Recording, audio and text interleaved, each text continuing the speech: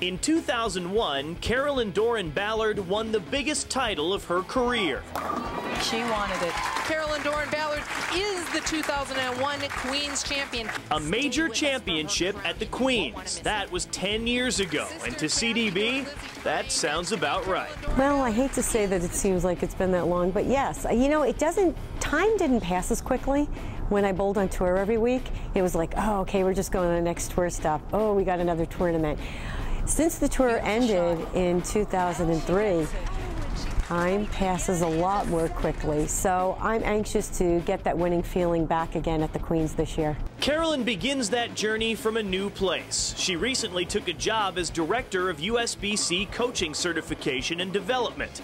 After a lifetime in the sport, this was a natural fit. I love bowling, as you know, and I've been coaching for quite some time.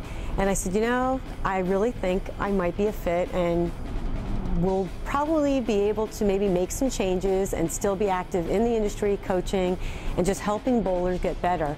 And really that's what my goal is, so that's why I'm here. And actually going into an office every day could help her on her way to this year's Queens. I had a routine, but actually working has made me stick to my routine even more because when I was at home, you know, you have that, oh, I'll go in 30 minutes or, oh, just another 15 minutes. Now that I work, I have to make sure everything is scheduled. So actually, I have been able to stick to my routine and it's been very good. After an up and down year on the lanes, Carolyn feels that she's finally getting back into her groove, and that could make her tough to beat. I feel a lot better. I had a little bit of a slump after the U.S. Open last year. Um, I just signed with Roto-Grip, so I got some new equipment, and it's really changed my game and how I see the lane.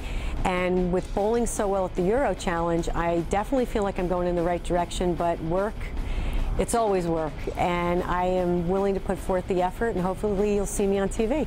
The USBC Queens begins on Saturday, April 23rd, and Bowl.com is your one stop shop for all the stories, highlights, and live streaming from Syracuse. I'm Matt Lawson for Bowl TV.